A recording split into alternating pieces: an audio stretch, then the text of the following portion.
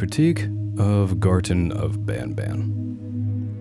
Not a one hour video of me ranting about a perceived problem with the game's quality and calling for its dismissal and whatever the popular thing to do is in this corner of the internet. No. A complete look at everything that I have found about it, its place in the genre, its developers, reception, mechanics, gameplay, horror, and of course, story. And while I will periodically talk about the games this series took inspiration from and show examples of how they handle mechanics, gameplay, and horror elements, I will not be judging Garten of Banban based off of them. I think it's important to judge games based on their own merits, and I think that will be especially important for this series. When looking at and critiquing a game that very obviously takes heavy inspirations from other things, it is really, really important to look at that game as its own thing, rather than the next blah blah blah. Now, that's not to say that you can't compare it to the thing that it's taking inspiration from, that's completely fine. But again, you have to remember to look at it individually as well. Now, back to this series, my introduction to this game series was definitely less than standard. I made videos responding to one particular individual, and one of those videos was responding to him talking about the first game in this series. And I found how he handled the entire thing just bafflingly terrible, but ultimately went on with my day since I didn't know much about the game.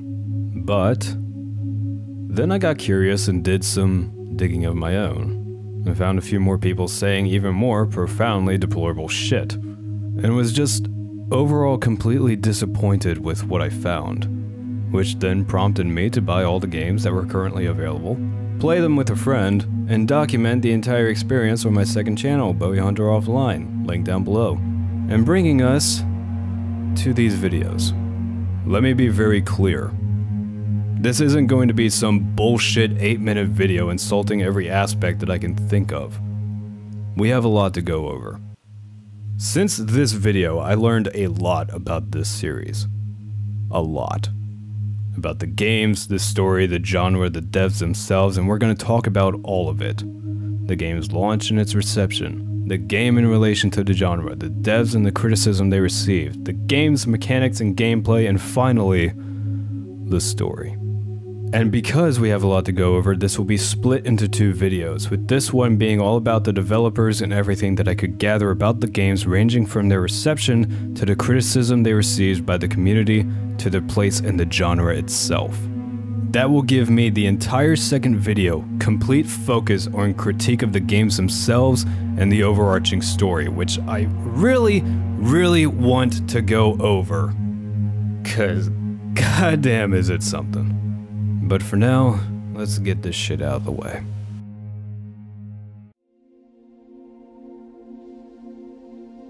To say this game had an explosive launch would be the understatement of this century. It started out almost as obscurely as Five Nights at Freddy's did when it first released, with FusionZGamer making his gameplay video gaining a little bit of attention, and then SuperHorrorBro making his video and having it spiral from there with uh yeah having his batshit insane irrational response to it. And it finally blew up despite his intentions of having it gain negative traction. Yes, I am absolutely sussing out malicious intent from this dude. From what I can tell, the reception was mixed. Some were positive about it, some were negative due to the length of game, limited animations, bland textures, poor drone mechanics, and overall lack of horror elements to make the experience a spooky one. Now remembering the context is important here. When the first game was released, it was just this 5 minute experience with a merch store and a chapter 2 coming soon. And after that came the criticisms that I could find. Now we'll talk about this a little more later, but I'll briefly mention it here. There are numerous accounts that the developers received fair and constructive criticism about this game and the series, and they just ignored it. Not only did I not find anyone giving constructive critiques, but I also got conflicting information. And I was especially tipped off with this comment. You know, I'm actually baffled that you managed to give Garten of Banban of all things a critical and thoughtful review. I'm probably reading it wrong, but it felt a little odd that me giving it a critical look was baffling, if the game was fairly critiqued before. Like I said, we'll talk about that a bit more later, but regardless, I saw a lot of videos that came out around that time. And perhaps unsurprisingly, some of them were from people who mentioned oh yeah and basically just followed the same shit that he said, not once giving it a single ounce of individual thought. I'm getting ahead of myself, but just ah, the way these fucking videos were handled just sets me off. Regardless, everything was said and done. The game took off, YouTubers played it, and some liked it, some didn't, and ultimately everyone said their piece and moved on. Then, only a few months later, Garten of Banban 2 was released, and there were some noticeable improvements to include voice acting, a little better animation, at least one element that can be pretty unsettling, and there's some semblance of a story going on, but that didn't stop people from refunding it after they beat it in under two hours prompting a less than stellar response from the developers. And of course, we will talk about that whole situation later. Garten 3 was released a few months after 2, and people immediately noticed that it was long and speculated that it was done in response to the refunding, which seems to check out with the unnecessarily long hallways and tedious tasks. And the next games that were released after were 4 and 6, leaving 5 and 7 to release later in the future. Understandably, people were very confused about how that happened. Apparently 5 was supposed to be a prequel. It it's a very confusing situation. We will, like I said, talk about all of this, but before we do, I think it's important to discuss this game's place in relation to the overarching genre, that being mascot horror. For anyone unfamiliar, Garten of Banban is not the first game to have the sort of formula that we'll talk about in a second.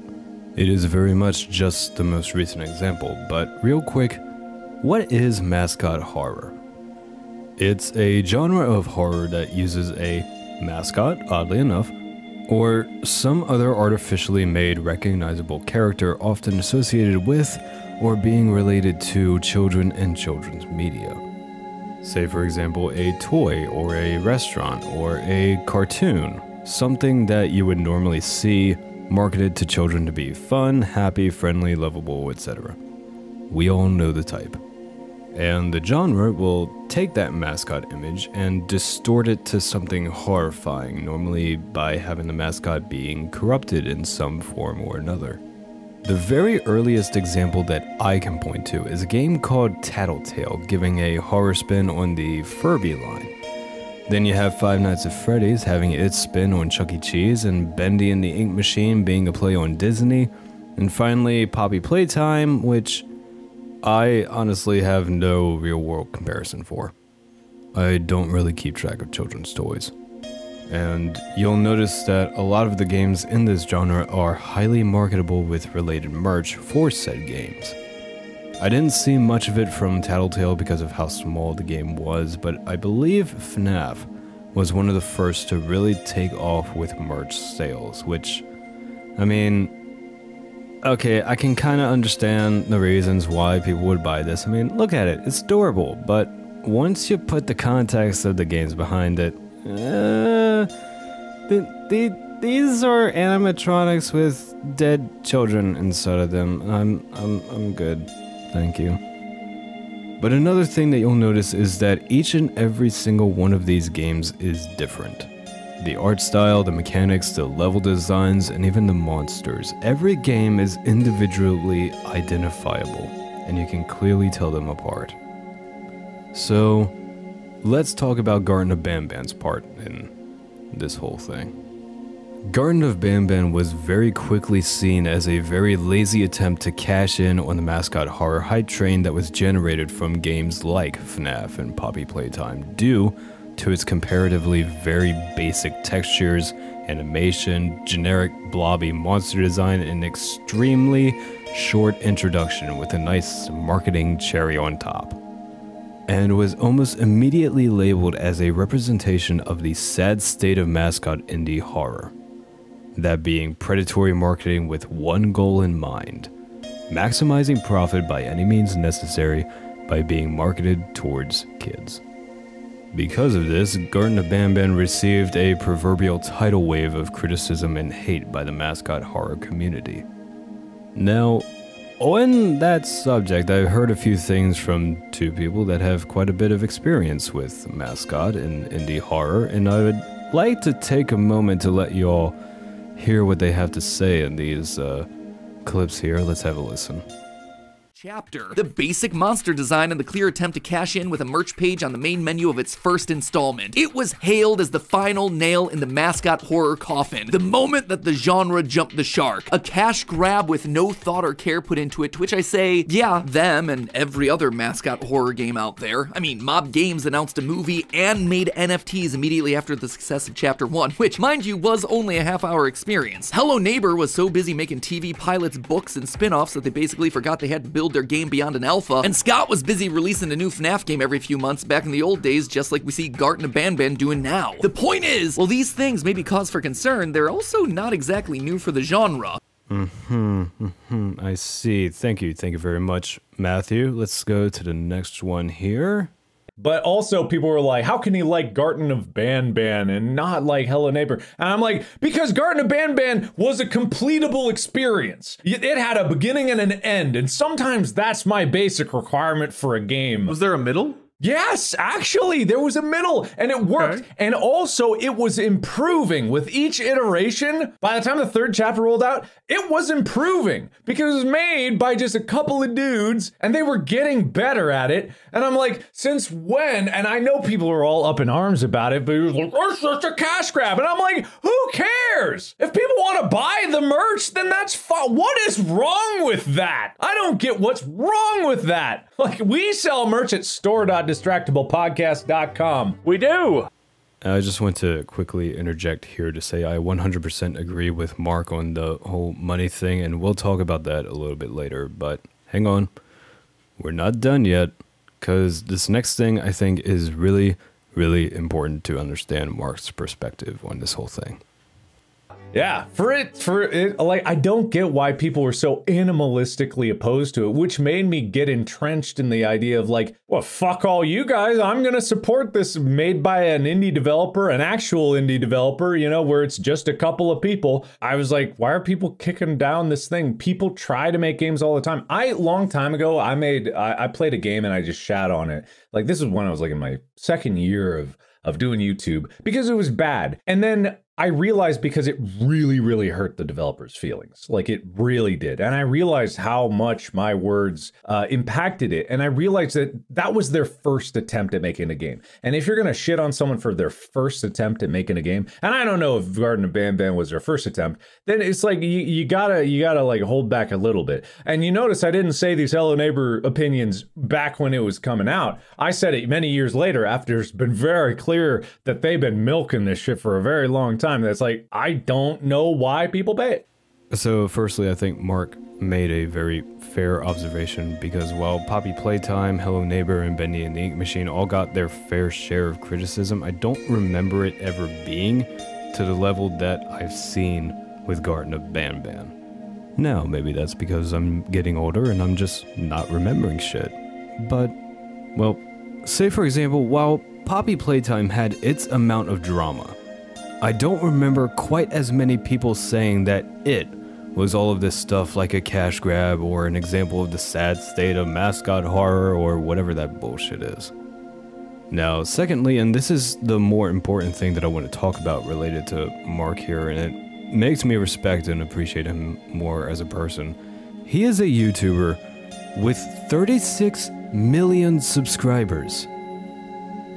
He understands what just completely dunking on a game could potentially do, especially for an indie game developed by two people. Just based off of that one experience with shitting on that one game in just his second year of YouTube. I believe him when he says he is supporting this game series and the devs. But even if he does have harsh criticisms for it, I think he is being more than responsible with keeping the size of his fan base in mind. Also, I want to point out this comment too. But also people were like, how can he like Garten of Banban and not like Hello Neighbor? And I'm like, because Garten of Banban was a completable experience. It had a beginning and an end, and sometimes that's my basic requirement for a game. Very important to remember that Garten of Banban is not the only indie game that he's played in recent years. His little playlist of X number of scary games, those are all one or two person indie games on itch.io or GameJolt. Mostly just demos that will more than likely not take off without someone, a YouTuber, calling attention to them. I just feel like this stuff is worth commenting on because I think it provides context for anyone that maybe was wondering why Mark is supportive of this game. And also Matt pointing out that Garten isn't doing anything that the other games haven't. Absolutely spot on. So, maybe this game is a representation of the state of the mascot horror genre. I think that'll be a conversation for when we actually start critiquing this game, because I think that's an important conversation to have. But it's just made more obvious by the inexperience that I have seen. Because I do not believe for a moment that the lack of details and polish and textures and environments was done purely out of malice or laziness. However, if this is a case of laziness or little effort, I will say that this is not the first time I have seen little effort in a mascot horror game. And the other examples that come to my mind immediately do a little bit worse in that aspect. I will remind everyone of a little two game series called Case Animatronics.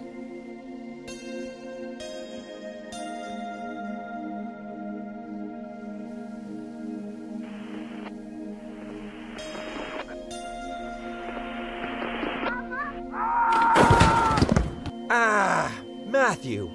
What the hell? I'll have to take a day off because of you. Hello, Jack.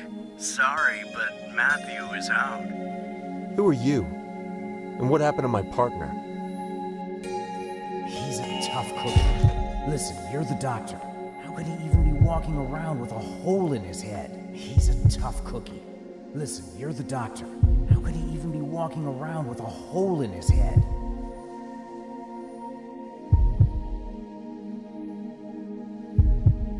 What are you going to do? Did you forget who's after us? I'm not dragging him along with me any further. And what are you going to do? Did you forget who's after us? I'm not dragging him along with me any further. Now it's become painstakingly clear to me that I need to emphasize that a game can have good graphics and art design and models and still be lazy. I have seen lazy writing in visually stunning games. I have seen lazy character animation in games with beautifully grotesque and horrifying monster designs. Okay, I'll definitely get it. Nope, it is just an invisible wall here, right next to Mia. Just tell me what's going on. I'm telling you everything that I know. we have to go this way. Her, uh, her mouth just stopped moving. This game is tired of my shenanigans, and I have seen just straight up lazy.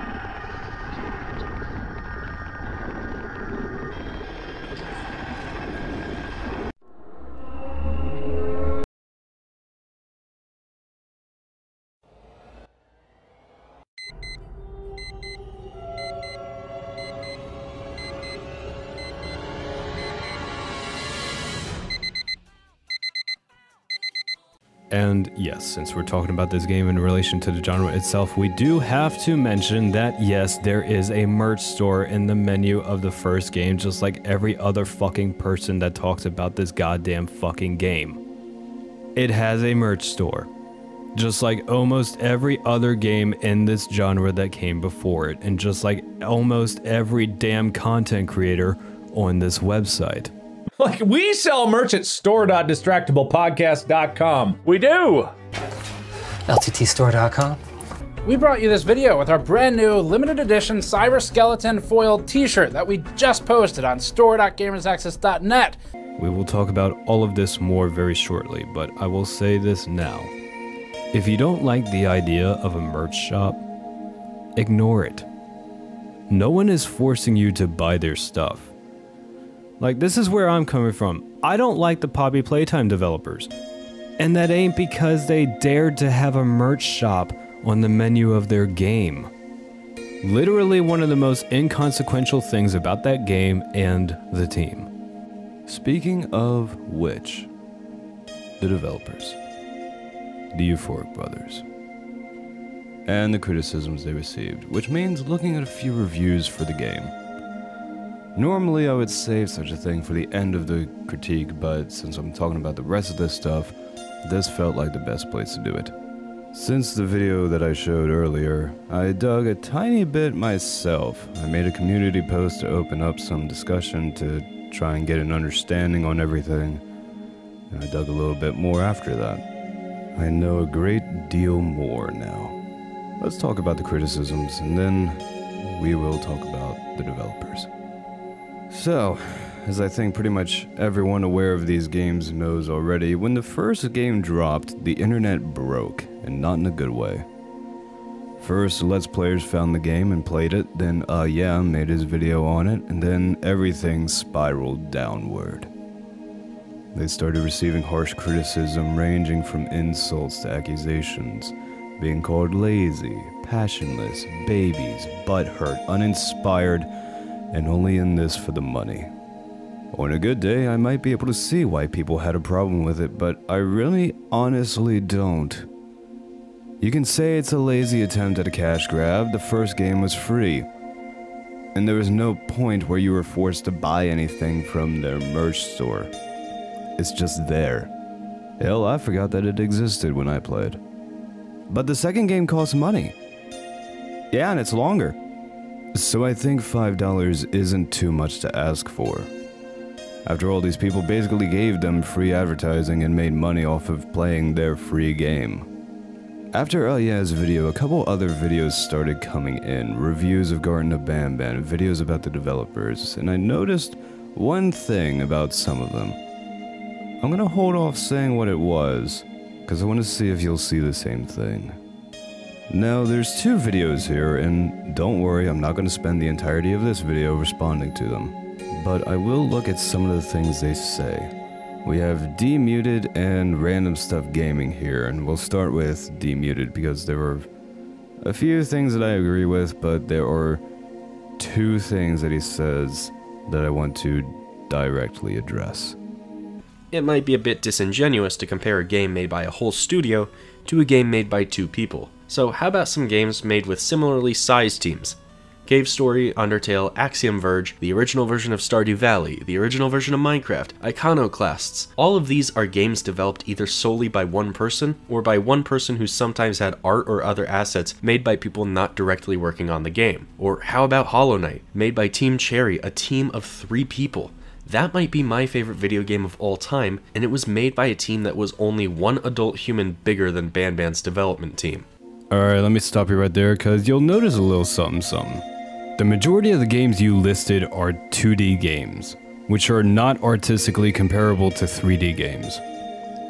Implementing models in art in something like Stardew Valley is not the same for an Unreal project like Garten of Banban. Especially if you're new to the engine, like I suspect is the case. And I don't think I need to remind anyone how buggy the old Minecraft actually was. And need I remind you of the first seven FNAF games? Need I remind you that Scott's amount of game development experience dwarfs the Euphoric Brothers by a landslide. And that's before talking about the Clickteam engine. He might not be the absolute god of game development, but I don't think anyone can deny that Scott was really fucking good with what he was working with. Which comes down to experience. On top of that, the Euphoric brothers are not Scott Cawthon. So comparing them against each other in this context would be a little asinine. Now, DMuted here makes some points that the random guy also makes, so I'll save talking about those for when we look at his video. But there's a few other things that DMuted says that I want to talk about. You'll probably see why. And then we come to that little teaser in the corner. Now, as far as I know, this wasn't included at launch, but it didn't take long for it to show up. Garten of Banban 2, which is not really a sequel, but a continuation of an incomplete story what we normal people would call a chapter. Because if you think there's going to be any major differences between chapters 1 and 2, you're mistaken and maybe delusional. But the only thing I'm wondering is why isn't it out yet? It could just be that the chapter is longer, but I don't know if these devs would actually do that. So I'm showing this cause this video was uploaded on February 7th. Garten 2 was released March 3rd. And I'll be jumping the gun a little bit here, but this dude is saying he doesn't know why Chapter 2 isn't out yet. But then this other fucking guy is saying that them releasing 2 a few months later means it's not worth the money. At launch of the first game, and then the second game coming out in two months. I'm sorry, if a game comes out in two months and it's made by two people, it's not worth $5. However, well, I guess that means that Five Nights at Freddy's 2 isn't worth the $8 that it's charging because, you know, it was made by one person, and it released three months after the first game. Yeah, but we're not going to talk about that. One says they're going too fast, the other says not fast enough. Like, guys, fucking pick one, honestly. And not giving the devs any benefit of the doubt that the second game will be longer, I think, is a little dickish. And you were also wrong, because the game was longer and had more going on. It had a plot line, though in fairness, it's really fucking hard to follow, but that's not what I really want to focus on. So, what's the verdict on Garten of Banban? Does it deserve the hate? Is it overblown? And what about the developers? Well, if you ask me, the hate is totally justified. There will be extremely rare moments in the entirety of my time on this platform where I will say that hate on a video game is justified. This is not one of those moments. I don't hate games. Even games that completely piss me off like Outlast 2 or One Late Night Deadline or LEGO Star Wars 2 for the DS. I don't hate the games. You know what I do? I critique them. And I try to keep that critique as objective and constructive as possible. Why? Because that's an opportunity for up and coming game developers to learn from a bad example to learn what not to do, to learn what to avoid. Alright, I'm done with him. Let's look at what Random has to say, but just in the interest of proving a point. I'm going to do a little something, but I want to know if you can spot what that is. Let me know if you do.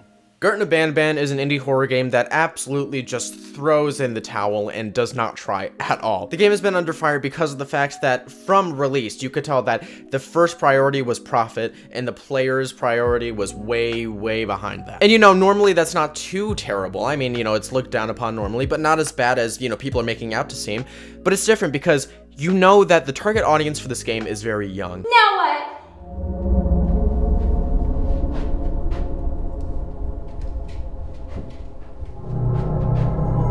Obviously, the target audience is very young. I mean, when you have character designs that look like this, it's very clear that you're going to be attracting a certain type of people, especially a certain age of people. That it was made simply to appeal to kids. Seeing people praise these games, which are so clearly cash grabs, meant to get as much money out of their younger audience as possible.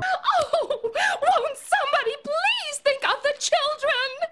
You know, maybe I'm just weird for not freaking out that a game dared to have a merch store, because I never buy anything more than just the game anyway.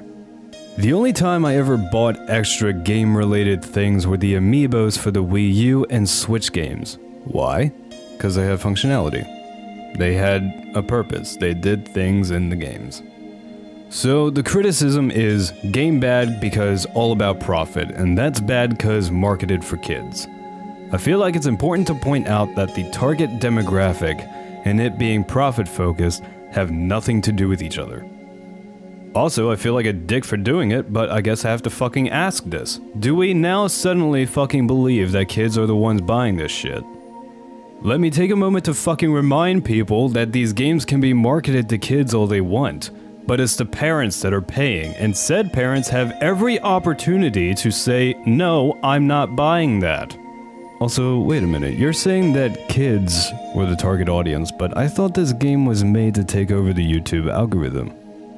So wouldn't that make YouTubers the target audience? There is pretty much no trying to hide it here. This game was a calculated move to try to take over the YouTube algorithm. That's the other part of this. Even if the Euphoric brothers, the developers of Banban, aren't making much financially from Banban right now, I highly doubt that was their main incentive right now anyway. The game being free means more people can play it, and the higher chance it has to take over YouTube and get exposure and popularity that way. Once those seeds are planted, they can easily capitalize monetarily in the future. This game was made for attention, and it was made for that sole purpose alone. Now at least with the random guy's video, I can't say it's a dumb argument because the game was free, because he uploaded his video after Garten 2 was released. And how much did that cost? An earth-shattering 5 US dollars. D do we seriously, honestly think that's worth losing our shit over? I don't think $5 is too much to ask for more game time, voice acting, animation, and everything else that was present in the game. If it was something like $15, then yeah, I'd think that's a little much. But $5 for an indie title developed by two guys is not a big deal. Bowie, you're making the $5 argument. Don't worry, I thought about that too. My thing about that is it's not a recurring payment, it's not a subscription, and you're not just giving money to some loudmouth that's literally doing nothing. So for something like this, I don't see a problem with the price. Sure, it's not as polished as Poppy Playtime, but that's the difference that you're going to see between two guides and an entire fucking studio with artists. The game's very obviously, very lazily made. I mean, you can't look at the characters and tell me that there was a lot of passion and thought put into these things. It's so obvious that it's just cash grab after cash grab and taking advantage of the genre as a whole.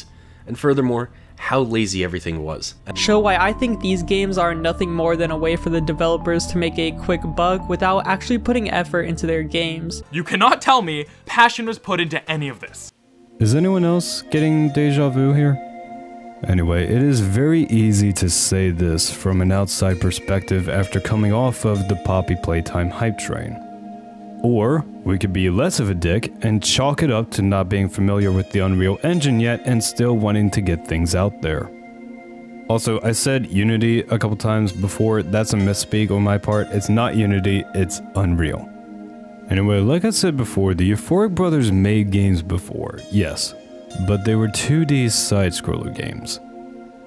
That is different from an Unreal project.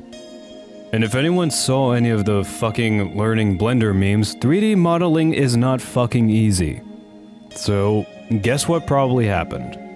They got the monsters to be a somewhat recognizable shape, said fuck it good enough, and drew the wall art after. Now, can that be a factor of laziness? Sure. Or, we could be less of an asshole and give the benefit of the doubt. Like, I don't want to be that guy that fucking quotes philosophy all the time, but fuck me, it still applies here. Occam's razor. The explanation that requires the fewest assumptions is usually correct. At launch, the biggest thing, right? Even though the game is free, on the main menu there was a merch button that you could buy merch for a game that just released and had absolutely zero traction before it. Now, insane. Upon booting up Garten of Banban, you get the absolute worst thing you can see on any immediate boot up page. A merch store. 6th of 2023. And while this first entry in the series was free, it came right out of the box with a merch button. Nice. Garten of Banban has a merch shop on the title screen. And yes, since we're talking about this game in relation to the genre itself, we do have to mention that yes, there is a merch store in the menu of the first game, just like every other fucking person that talks about this goddamn fucking game. Pay attention, you're saying the same shit that he said. You know what's crazy is that the merch store is optional, and no one is forcing you to buy anything from it. Like, okay, they made a merch store. Just like every other fucking mascot horror game after FNAF did. I don't care. They want money. Name a fucking developer that doesn't. Also, the merch store literally doesn't affect you in any capacity. They're not holding a gun to your head forcing you to buy their merch. You can ignore it. I promise, it's okay. And furthermore, a kid isn't buying the merch. They're going to the parent to ask if they can get it, and from that point on, it's the parent's fucking decision. And they have the ability to say no. Ah, but Bowie, what if the parent goes to that store because they want to get something for their kid, and they know their kid likes the games with the colorful monsters? Well, if the kid likes it, who gives a fuck? Like I said previously, if you don't like the idea of the merch store, ignore it. I don't like the Poppy Playtime developers, but it isn't because they have a fucking merch store. Guys, this obsession with potential profit and pointing and saying they want money, like that's that's not healthy. Merch is a byproduct of content creation and it's an easily fucking predictable one too. Like if the idea of a merch store surprises you, at this point I'm envious because they're everywhere. But we have got to stop crying wolf about this shit. This is not an automatic money printing factory like these guys like to imply by saying this shit. This is a money printing factory. This is predatory monetization. This is taking advantage of bad spending habits. Oh, what's a few more V-Bucks? That's pretty cheap. Oh, what's a few more tokens? That's pretty cheap. Oh, the new latest thing dropped. I need to get that. Oh, I need to get this new skin. It's only a couple dollars. What's the harm? Every single time. You want to talk about fucking draconian practices with money around gaming? I'd be very happy to have that fucking conversation. We can start with Xbox Live or Game Pass or PlayStation Plus or Nintendo Online. Hit the fucking subscription services that trick you into thinking you own anything first. Then we'll circle around to where the companies really nail you. I would be happy to have that conversation. Because I was around to see the peak of the console wars Xbox versus PlayStation, PC versus console. I saw all of that bullshit. I was around for the rampancy of loot boxes and microtransactions. I was around to see Battlefront 2's launch, the shit one, not the old one. And what's important is that I remember it. But Bowie, Game Pass is just a dollar. No, the fuck it isn't. You gotta read what it says. You join for one dollar, then after 14 days, not even a fucking month, the subscription jumps up to the normal price of $10. If you get the ultimate option, it's 17. But Bowie, you can play Xbox exclusive games. Sure, until you quit paying them. And can you believe that that's actually a downgrade from the system that they had before, which is what makes this such a slap in the fucking face to me? If anyone remembers the golden age of the Xbox 360 Xbox Live Gold, you would have one or two games ranging from indie titles to full on AAA games just free for that month or that week or something like that. And if you claim those free games, you can still play them, even after you quit paying for Xbox Live Gold. If you quit paying Game Pass, say goodbye to your ability to play those games. Paying a fucking subscription service to play games online for absolutely zero fucking reason. That fucking bullshit is a cash grab. I don't care that Poppy has a merch store. I don't care that Bendy has a merch store. I don't care that FNAF has merch. I don't care that Garten has merch. It's the most harmless way for a dev to make money outside of the game itself. And you know something that I noticed? You, random sir, for talking about the merch store and all that, couldn't help but notice you didn't mention it once in your own video playing the game. Almost like it's easy to ignore. You only mentioned it in your second video after everyone else talked about it. Obviously, regardless of whether the game was free or not, the game would have received an extra spike in criticism with the release of Garten of Banban 2, but the game was $5 USD. That's more than FNAF 1.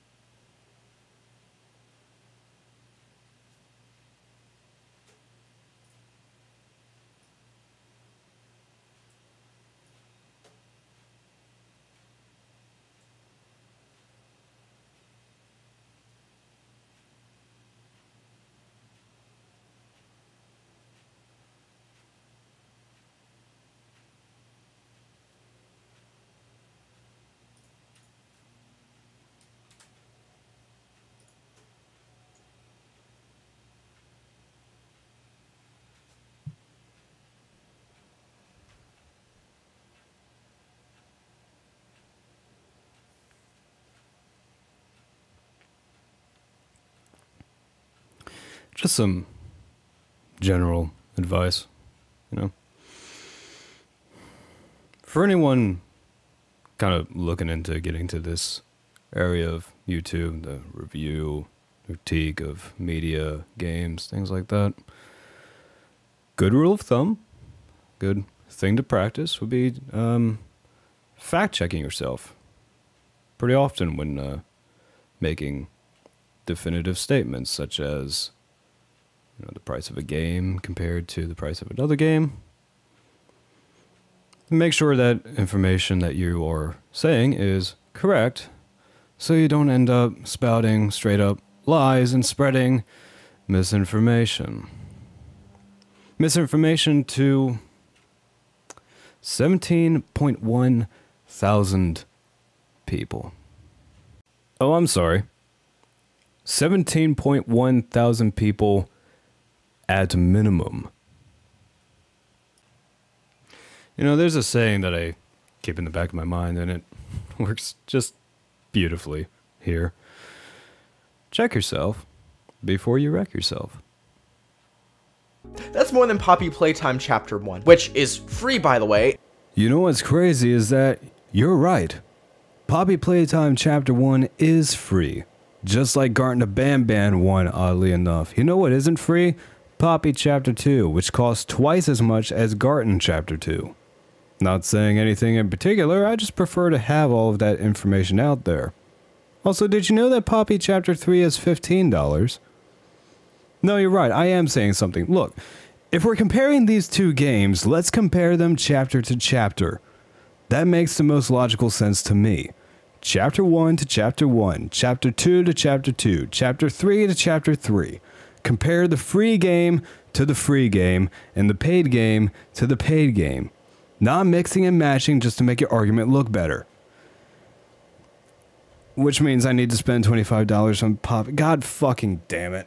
Now because of this, the game received a lot, and I mean a lot, of criticism from people all around the world, creators and just Twitter users alike. And they responded uh, in very interesting ways. Not ways that, you know, me personally would recommend, but, you know, I'm not a PR person or anything like that, so I don't know. Mainly, they would uh, go on Twitter and post screenshots of people sending them, you know, things that are really not nice. I don't condone things like death threats or threats of any kind, obviously, so please do not do that by watching this after watching this video. Please don't. I think that should be obvious, but it's only fair to address that number one. And number two, it's very clear that these people do not like to listen to criticism unless it's delivered to them in a very particular way. And the Euphoric brothers, well, they didn't respond well to criticism. There's but before I do, I feel it's only my responsibility as a YouTuber to say that you shouldn't go out and harass these guys.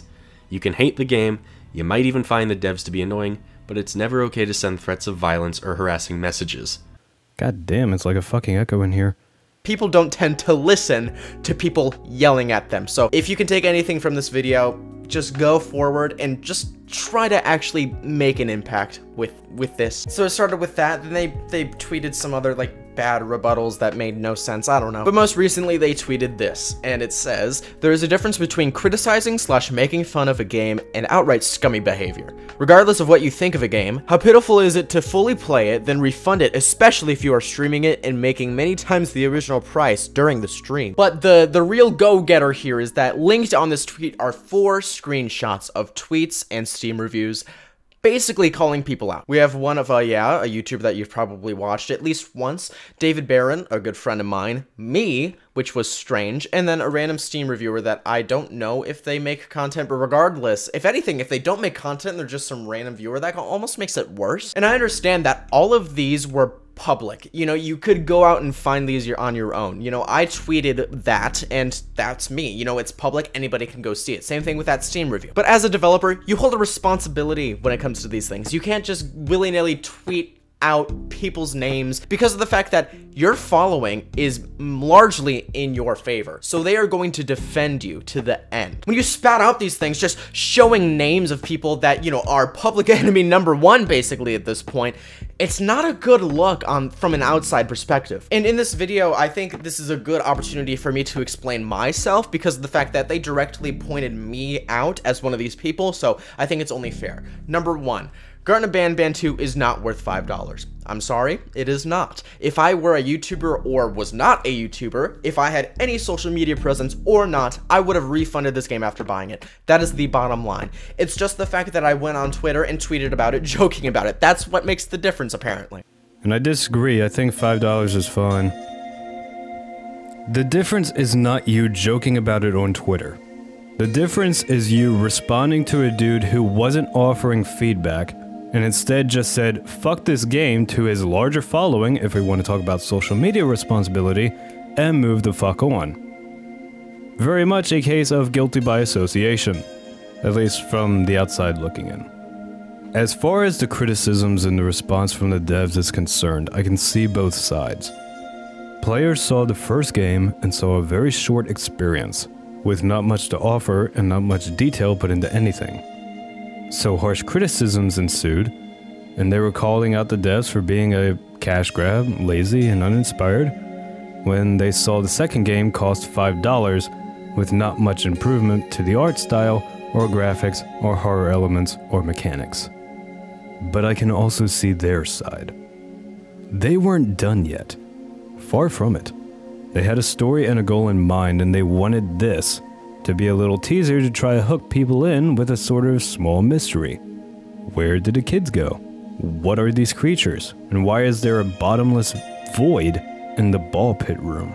And all of this while learning how to create on the Unreal Engine since their only experience outside of Egghead Gumpty was 2D side scrollers. And if you aren't good at 3D modeling, which is not absurd, all you have to work with is pre-made assets. Yet all of this stuff was coming in about how lazy they were, but they haven't even gotten started yet. I can understand being a little upset about that. Not justifying how they handled responses, but I can understand it. There have been examples of poor reception of criticism before. One of the more memorable for me was JC the Hyena after his Sonic.exe story was removed from Creepypasta. It isn't easy for an artist in any form, to be told that their work just isn't good enough.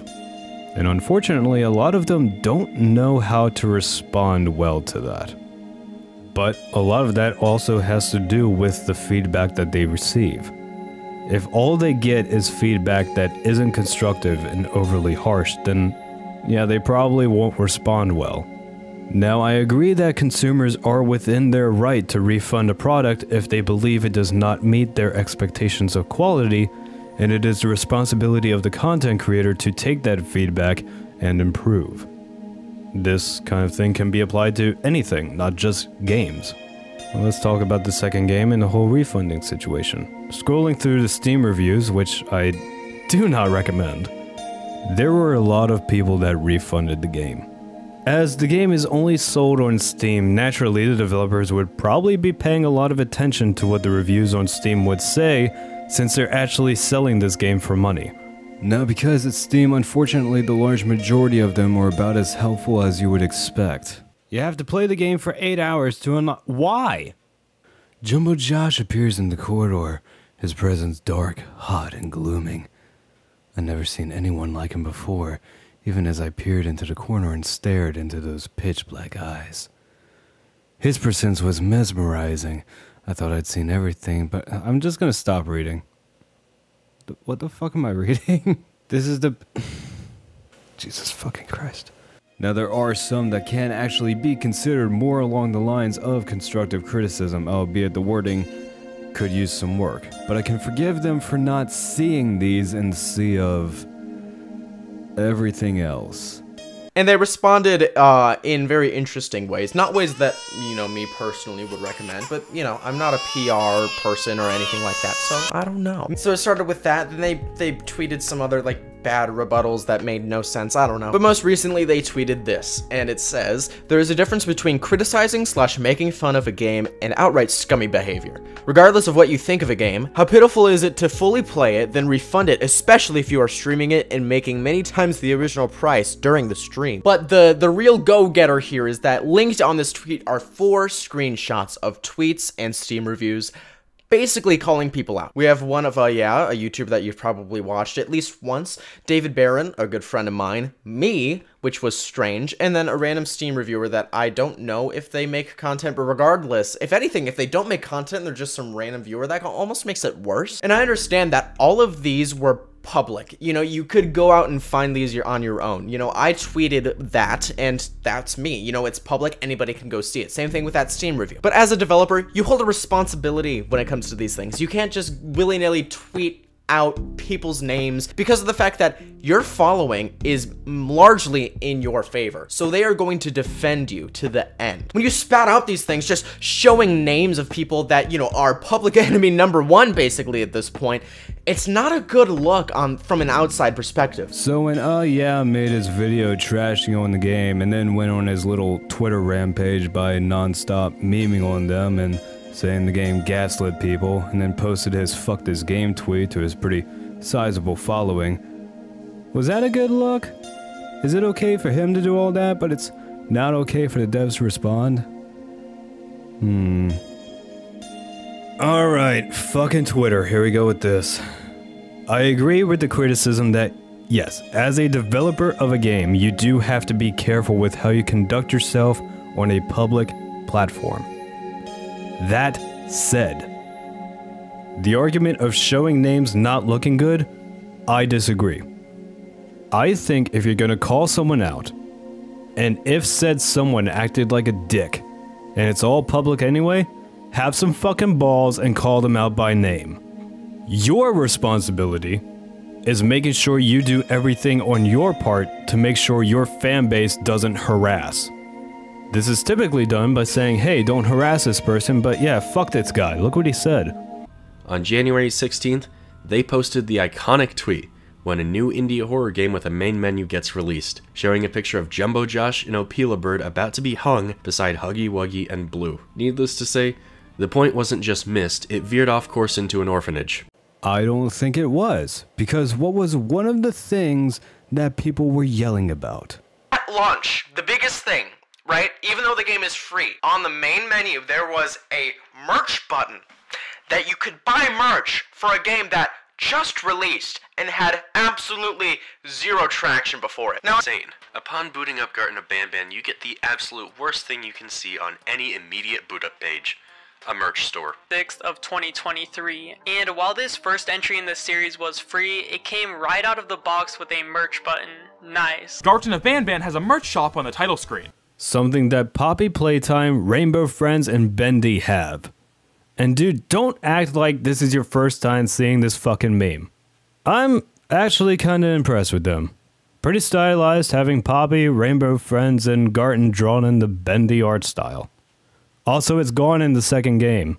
So I don't think they missed the point. And all of this stuff came after the uh yeah thing. So all of this bullshit trash talking about the games and the devs are just echoes of shit that he said. And yeah, they blocked him on Twitter. Them for. But I do want to dig at them for blocking Oh Yeah on Twitter. I mean, I said it earlier, but without this Canadian furry, Banban would be nowhere near the size it is now, and instead of making a veritable ally out of the guy who memed their game so hard it blew up, they instead want to keep him as far away from the game as possible. A more Shakespearean tragedy I have never seen, and probably a very dumb move, as it broke arguably their biggest shield from criticism, that being that they're self-aware, that Banban could at the very least be chalked up to parody. Alright, I don't like being harsh, but are you like brain dead? A shield from criticism. He made a 14 minute video saying the game was lazy and uninspired, and that the game was gaslighting people and blamed them and their game for shit that he did, and offering no constructive criticism whatsoever, saying that the game didn't deserve it. He was a raging dick. I don't blame them. I don't like the guy either. Like all of these people calling them babies, talentless, lazy, money hungry, just completely shitting on them, just actually fuck off. Like, I agree with them. There is a difference between criticizing and making fun of a game and outright shitty behavior.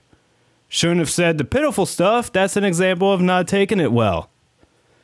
And yeah, making a tweet with a screenshot saying fuck this game or saying the game is gaslighting people or saying it's lazy and uninspired and absolutely nothing fucking else, or that there's no passion, is shitty fucking behavior. As we've seen before. I get why they blocked him. Leave him blocked. Fuck him. Like I said at the start, the fucking way that all of this shit, at least on the YouTube side, was handled just sends me over the fucking edge. And maybe I should explain why, because I assume right now I just seem like a guy that's mad about nothing. In any art form, be that contemporary art, drawing, story writing, bookbinding, leatherworking, filmmaking, game development, even building a fucking computer sometimes. The absolute single most important part of that craft is constructive criticism so that the person can fucking grow and improve. And so far, all I have fucking heard from people on this fucking website is just continuous bashing. They're lazy. They're a cash grab. They're milking. They're crying. They're babies. What fucking part of that helps anyone improve? What fucking part of that is constructive? Well, if you ask me, the hate is totally justified. In what universe is it justified to dogpile and hate on a game because you think the devs are being lazy when the game is fucking free? Like I said before, I don't hate games. There is absolutely nothing constructive that comes out of hating a game. I critique it, and I try to keep it as objective and constructive as possible. And that is what I'm going to do for this franchise. I will practice what I've preached before, and play the games myself, think about them, and come to my own fucking conclusions about the series. Before I continue, I'll add a little note here. I am aware of this video by Astral Spiff. I'm not entertaining the arguments he makes in this video. He compares people refunding the game to creators not getting ad revenue because of ad blockers, and argues that people can watch streams for free even though he knows full well that streamers around his size and up get donations and shit no matter what. And also argues that streamers aren't making money off of the Euphoric Brothers games, they're making money off of making content that people enjoy so the devs can suck it. The video made me lose all respect for the man. And this is all argumentation that I heard before. You wanna guess what from? Well, it's when React culture was being called out for streamers essentially stealing content by just watching it on stream and not transforming it. If you're interested in learning about that, there's a wonderful video by Jay Exci that talks about all of it, and the link will be down below. So if anyone has any solid and specific information slash example of someone giving them constructive feedback outside of the one person that I have seen that I will mention in a little bit that I can see for myself and verify and point to and say, see, there it is. Say it in the comments. Try to get with me. We'll get that figured out. Because outside of the one, I haven't seen it on YouTube, so either I'm in the wrong part of YouTube, which is entirely likely, or it's all on Twitter, which I avoid being on as much as humanly possible. I have an account, I just choose not to be on it.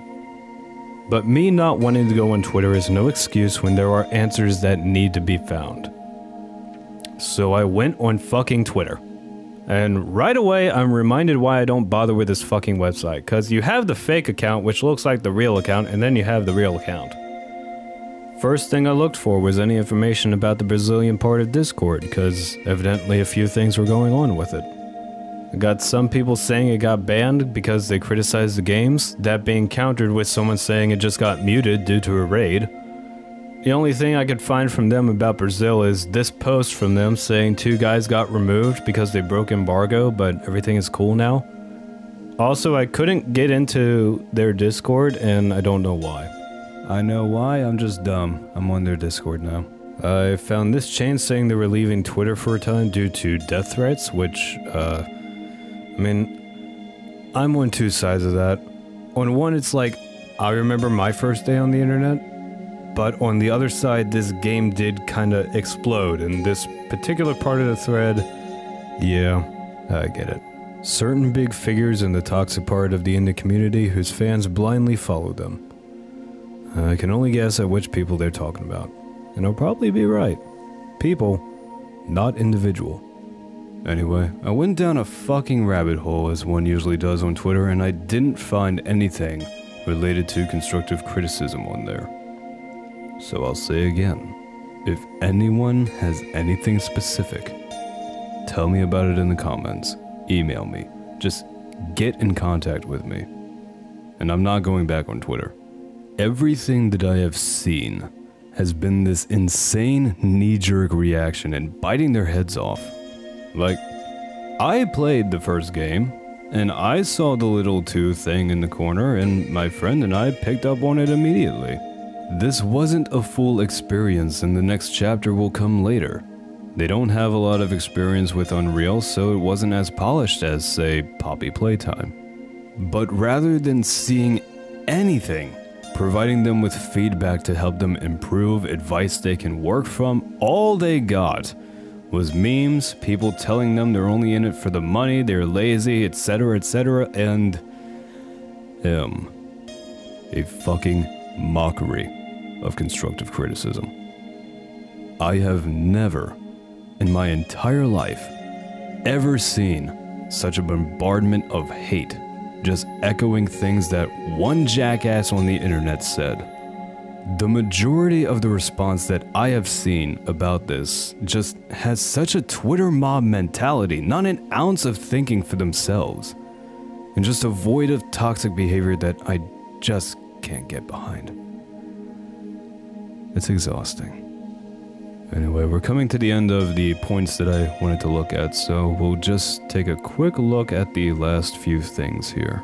That I'm gonna acknowledge the fact that, you know, this video isn't very structured just because of the fact that I'm kind of upset by this. This is making me really genuinely mad. And you know what? Euphoric Brothers, maybe you shouldn't have made that tweet, because I don't think this video would happen in the first place. You did this to yourself, buddy. So, you made this whole ass video because they put you in a tweet. Dude, fuck off and grow some thicker skin. And wipe that fake ass smirk off your face.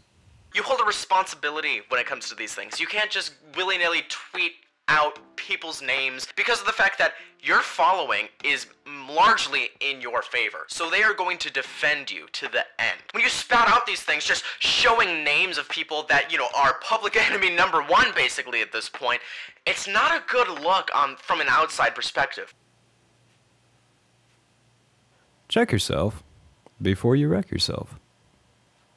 This problem actually became so prevalent with people sharing it on Twitter that the developers of the game commented on the fact that people were refunding, calling it scummy behavior. In my opinion, I can see both sides. Yeah, it isn't really a good look to refund the game, especially for YouTubers and streamers who were profiting off of it, but at the same time, if the game is so short that it could be refunded after completing it, then it shouldn't really be sold on Steam for such a high price in the first place. Well, I guess you should just go ahead and refund the OG FNAF then, right? Because, you know, you can beat it in about an hour, start to finish, if you're good enough. And hey, if it's so short that it can be refunded after beating it, shouldn't be sold for such high price, right? Ah, but you ain't gonna do that, are you? It's almost like it's a nonsensical fucking argument. So, if you haven't been able to tell what I've been doing with this little section, it's almost impressive how many times these people all say the same things almost word for word. It's like they're reading from the same damn script. Now, all of that bullshit said, I do acknowledge that there were very few moments of fair critique and observations made about the game that I would like to bring attention to, because positives are important as well. Horror games with like minimal instructions are very novel to me. And if they're done right, I think they can be really cool. But at the same time, when you get stuff like this, it just Wait. confuses the shit out of you. which I agree with. How to tell the player what to do is one of those things that will be an ongoing debate, same with deciding if your character should speak or not. Most common method is some sort of objectives tab, while some of the more hardcore games just throw you in the world and say good luck. But as the guy said, for things like this, not having clearly defined objectives that also make sense narratively, that's important, makes the game really confusing. And here I will take a moment to talk about that one video that I mentioned. I do know that not every single video about Garten of Banban is like the bullshit that you just saw right now, and I will draw your attention to a channel called F Min Min Min Minaxa? Minaxa? This channel, who, in my personal opinion, did a fantastic job talking about Garten 2. I think his approach and everything that he said was incredibly fair. He hits all the points that I would have brought up. And there were like one or two things that I very minorly disagreed with. And what's fucking crazy is that it took me all of 12 seconds listening to how he spoke in the beginning of the video to know what the quality of the video would be. I have been told that the developers have received good, constructive feedback in the past and just ignored it. It is very possible that I am either just blind or I haven't found it through the sea of content just shitting on them. And outside of this person's video, I have not found a single thing giving the game's constructive criticism yet. Everything has either been rant videos about the game, the devs like DMuted and Random, or videos like Rapwned here, just laughing at it. And I'm sorry, but I think making a 9 minute video and saying you're talking about all of the games is so low effort it makes Jinx reaction videos seem like hard work. That might be going a bit far, but 9 minutes? For all of the games? Really? If it does exist, and there are more people out there that gave them constructive criticism, like I said, share that with me. Tell me a Twitter name or a post. Tell me a YouTube video or a channel, something that I can look up and verify for myself, and I will make an amendment to this part of the video in the form of a pinned comment. Until that happens, I will continue with the thought process that I have right now. Are there issues in the games? Yes. Does that warrant unbridled rage and outright hate? No. Never has, never fucking will. Now let's talk about their response. Unfortunately, the only place I have to go to look at where they kind of responded to stuff is on Twitter. Again. And combined with the fact that I don't know how this place works, I'm kind of limited on what I'm finding, but I figured their Twitter page was good enough. So, we saw pretty much all of these tweets already. Let's actually read them and talk about them. The first one that I saw that was a response, kinda, was the first time post. Now, I can understand if you never saw the meme that's being referenced here, that it can be kinda odd to see. But fortunately, I remembered that the meme image existed and proceeded to not care about the imagery outside of what I said before. Poppy, Rainbow Friends, Ben the art style, I think it's neat. Let's talk about what it says. When an indie horror game with a main menu gets released, the context of what they mean shown in the picture. Known games with merch stores in the menu on the block asking Garten if this is their first time receiving the critique that is, they have a merch store. Now, I do have to side for a brief moment with some of the people we looked at because, guys, it it wasn't about the menu. It was about the thing on the menu. But I mean, this looks like it was supposed to be taken as a joke to me, so I don't see it as too particularly egregious. So let's talk about the next one that I come up to. The death threats one. This is what happens when you make an indie horror game in 2023. Death threats, extreme harassment, and non-stop abuse all for a free game. Now, like I said, I'm torn about this kind of thing because on one hand, I remember my first time on the internet. A lot of people that are in the spotlight get death threats. I'm sure even Oh Yeah gets some. It is, unfortunately, a common part of being known on the internet. Because there's anonymity out here. So people feel more comfortable with saying whatever they want and consequences be damned. You have to learn to identify which comments and messages to take seriously and which ones to just ignore.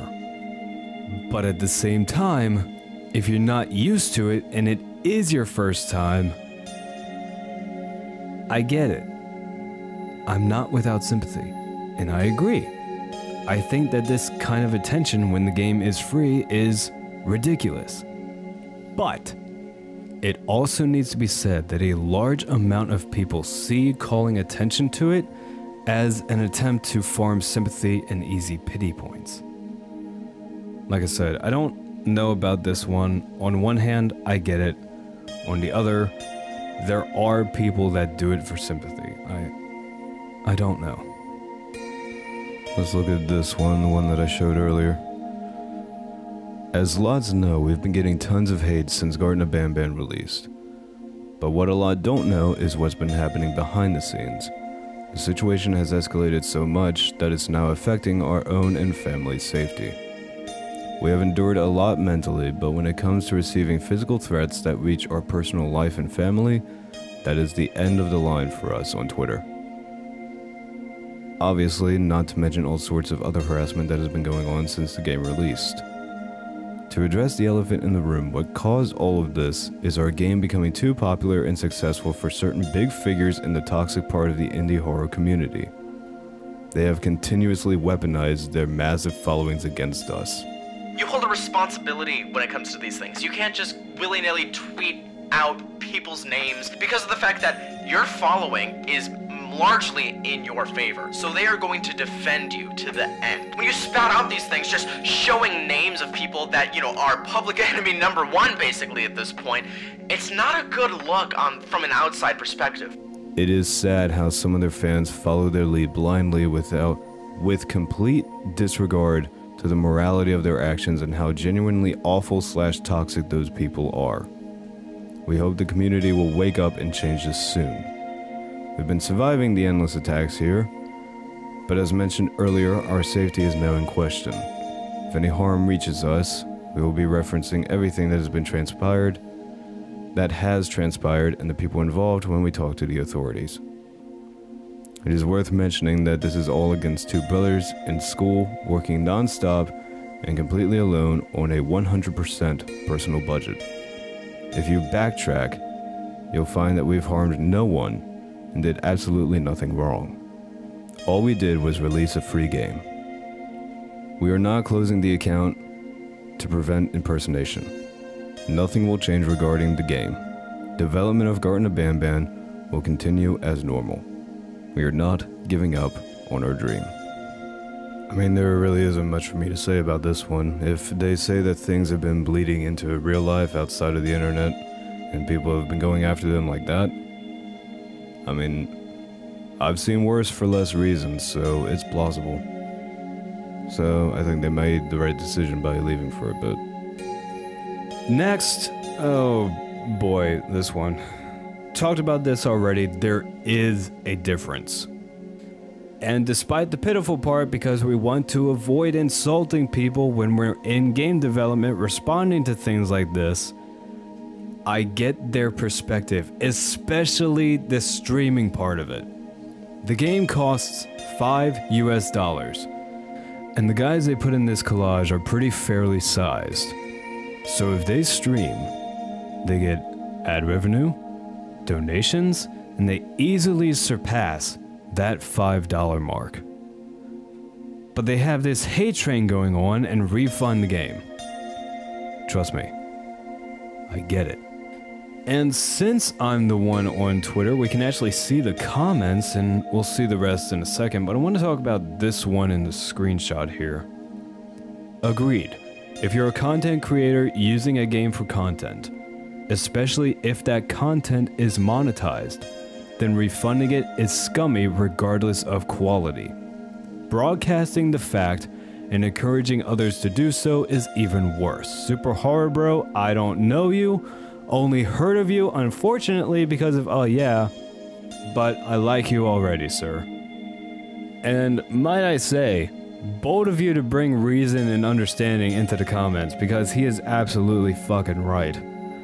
When you're using a piece of media as a springboard for you to make content, specifically a game or something that you pay for, and you refund it after you're done, fuck you. Because now you essentially freebooted and stolen that content. You gained monetarily off of someone else's work, and you won't even give them the courtesy of compensating them for that fact. Social media responsibility. 100% correct. Unfortunately, Twitter will be Twitter. Then make a better fucking game instead of crying about it on Twitter. Don't care, plus cry harder. I don't care. Gonna cry? Oh no, someone thought your game was bad? How will you ever recover? Maybe actually make an original game with love instead of fucking cash grab. Maybe a better game then. Even Poppy Playtime did a better job. Cope harder. How about putting actual effort in your games instead of making people pay for a Roblox game? More shit that just isn't constructive in the slightest. But I will say there were some pretty positive comments to counter this, so we'll look at those too. Take my advice and use the money you've earned to hire a really high quality team. Then check out some of the best fan artists and either hire them or take some serious inspiration from them. Don't take it to heart, as a lot of those critics like that are spoiled brats. Everything is in life. I have a start. Jesus fucking Christ, this. Guys, please work on your fucking grammar, guys. Holy shit. Don't take it to heart, as a lot of those critics like that are spoiled brats.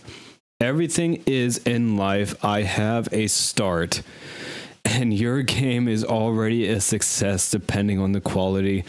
Many can't even get to the halfway point, guy. I am disappointed. Oh, yeah, I would say this.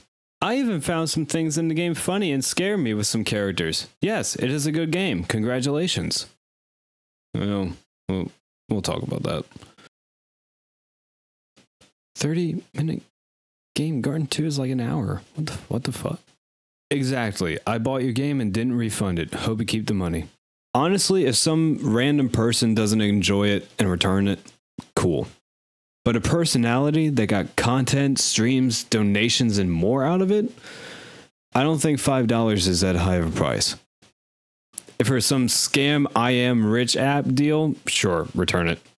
Now, this gives a little bit of credence to the idea that the brothers don't listen to any form of criticism. I know, I know, you ain't reading all this.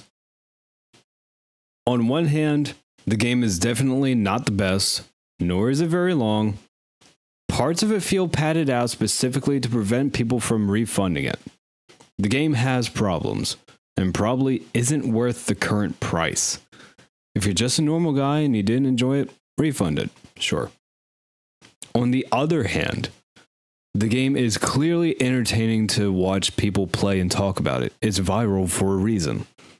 And I think for an influencer to refund a game that was actually a very successful investment for the channel is rather immoral. They may not have enjoyed the experience, but they, without a doubt, gained a lot of money and attention from it. The game's quality no longer matters. Of course, an influencer can still leave a negative review or even make a video discourage people from discouraging people from playing it. Maybe even more making even more money in the process. But to refund it uh, it's not like these YouTubers weren't already aware the game had a bad reputation. They saw the negative comments, bought the game, made presumably thousands of dollars off of shitting on it and are now refunding it. Is that not just as scummy as releasing a shitty game on Steam hoping to make a profit hoping to make a profit from it? Maybe I'm more sensitive to this since I've seen YouTubers make thousands times more money than I have by playing my stuff. I don't think Garten of Banban 1 slash 2 are good games, but influencers should probably have more class when these projects, no matter how bad they might be, are the fuel of their livelihoods. Incredibly fair. Incredibly fucking fair. Hits the mark on all fucking accounts. And what do they get in return? Blocked. Blocked. Why? Why would you block someone who gives a comment like that? So, in that regard, I can see the argument that they ignore criticism. And guys, that is a shitty thing to do. The man gave you the best comment you could ever hope for. Block, oh yeah. Do not block people like him. And since we're kind of on that topic, let's talk about it. Garten 2 got mass refunding, so it is theorized that Garten 3 got stretched out to make sure people went over the two hour mark so they couldn't refund the game. Which, guys, if that is what happened, that is not the right way to handle that. I get it. I promise, I get it. It is a completely shitty thing for them to do. But that is not how you handle that problem. We'll talk about what you could have done when we talk about the games themselves. So, after looking at all of this, I just had this nagging feeling in the back of my mind. So, the first thing I did was try to find out how old they were. Ferris, the older brother, was 19 in 2021, which means when he made Garten of Banban, released in 2023, he was 21. And Geppo was younger. And only sorta depending on which one of them handles Twitter, their responses start making more and more sense to me the more I learn about everything. Look, younger people do stupid things and say stupid shit. I think I showed plenty of examples of that by now. Now, we've looked at all of the Twitter posts in question about this game series now, so I don't need to show them again. So here's my thing. I am of the firm belief that Twitter brings out the worst in people. I have seen it time and time again. People getting into fights and saying shit they normally wouldn't say. I've seen grown ass men act like spoiled children over the dumbest shit. I've seen normally rational people just lose their minds when things don't go their way. I've seen fucking grooming. I've seen a sea of the worst stuff imaginable. I've seen it take a huge toll on people's mental health. And that's why I avoid it like it's a fucking plague, because in my mind it is. And let me tell you, 21 is an adult, but that's still really fucking young. Now that doesn't mean that I'm saying they're in the clear, because they're not. At the end of the day, you have to be open and receptive to criticism, even the harsh stuff. And I'm not talking about the hate messages and the death threats or oh it's bullshit. But it's that thing that I say quite a bit. If multiple people are saying the same thing, maybe they're on to something. For me, it's the fact that they're even answering at all. That tells me that they at least care to some sort of degree. Because fucking trust me, if they didn't give a single fuck about anything that anyone said about their game, they wouldn't say jack shit. And the game would just rot. Left there to collect any potential future sales and move on as if we don't exist. Not that I have an example of a game that happened to on the screen right now. So, I don't know. I just don't know. As much as my friend and I joked about it, and as fucking irritated I got at, oh uh, yeah, and just the situation in general, I don't like being negative, and I don't want to automatically default to negative. The whole money thing these days, I don't fucking care. And maybe super detailed textures and volumetric lighting and super scary stuff and good animation and super cool gameplay wasn't their focus. At least, not at the start. Maybe they just have a story that they want to tell, and if that's the case, I can't fault anyone for that. And you know what? I hope they do just want to tell a story. They certainly have an idea, and I'd be lying if I said I wasn't interested. I just don't like discouraging creators. As much as I don't like the man, I'll never say that oh yeah should stop making videos. Just like I won't say that these guys should stop making games. You want to talk about lazy? I can show you a lazy game. You want to talk about a developer that doesn't give a fuck? I'm I can point them out. I've seen a lot of games. A lot of games. Far worse than these. And more on that point, the reason why I'm so against lighting up these guys in particular is because I literally just fucking saw it happen, albeit a year after the fact, to another developer that coincidentally, oh yeah, was also involved in. Now, the Euphoric Brothers games and RJack's Post Shift 2 cannot be compared to each other, but it doesn't matter. They are still developers of games. And I watched this talented man get torn down and shamed because of a collection of mistakes, and it was done publicly to 1.9 million people.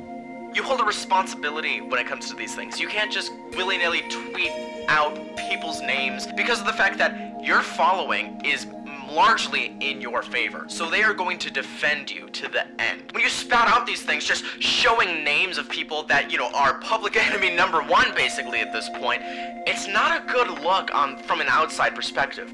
As a result of this, the most recent activity that I could find from him was a music video that he posted on his YouTube channel four months ago as of the recording of this line.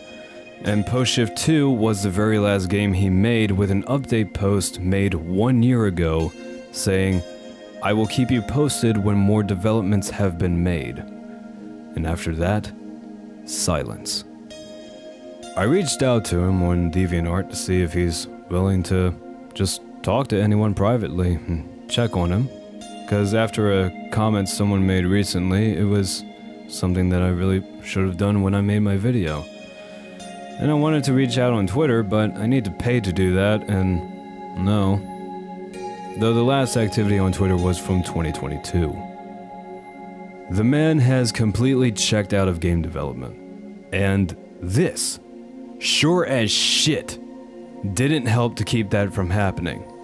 If we want to talk about social media responsibility, no developer, and I mean absolutely no developer whatsoever, deserves that kind of treatment.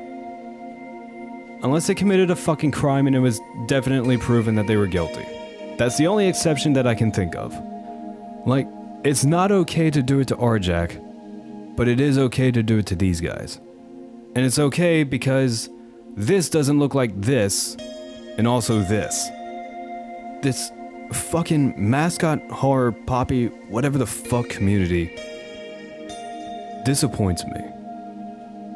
To a degree that I really didn't think was possible, but here we are. And I'll quantify this with a simple question. How many of you actually fucking reached out and just asked them about this stuff? Cause I did. It's not like it's hard to do. They're not a AAA multi-million dollar studio. None of you. Not you, not you, not you, not you, and not you. Though it's probably a good fucking thing that you didn't, given your track record of talking to developers. None of you even fucking bothered. Because it's easier to make claims rather than just reach out and talk. Basic fucking courtesy. But no, you want to hide behind Twitter and YouTube. Twitter is not the same as a fucking conversation. So, in this very, very specific case, I think what happened, and there are some strong implications that this might be correct, but again, I can't be 100% sure yet, is that people started saying that they received criticism and then everyone just started saying that. But no one ever really did it. And just so we're all on the same fucking page, this is not constructive criticism. These are not constructive criticism. This is not fucking constructive criticism. And this sure as shit is not constructive criticism. And since I know I'll be asked about it, I'll quickly address this. Yes, I am aware of the games, and the particular game that was made in the past, and here's my stance on that. I am consciously ignoring it, and I'm not going to talk about it. I am not justifying the game's creation, nor do I feel like I am the right person to talk about it. However, the past is the past, and that's where it should stay. It seems pretty clear to me that they're moving on from all of that, so I think for now, we should do the same. Are there things to criticize one or both of the developers for? Yes. Does that give anyone any right to lie and misrepresent or insult and mock rather than try to help? No. And it needs to be noted that the Euphoric brothers did unblock everyone that they blocked at the start of 2024 to start the year fresh, and that includes, uh, yeah. But as I've said in a few videos previously, I personally don't like talking about developers in my videos because I don't know what's going on on their end.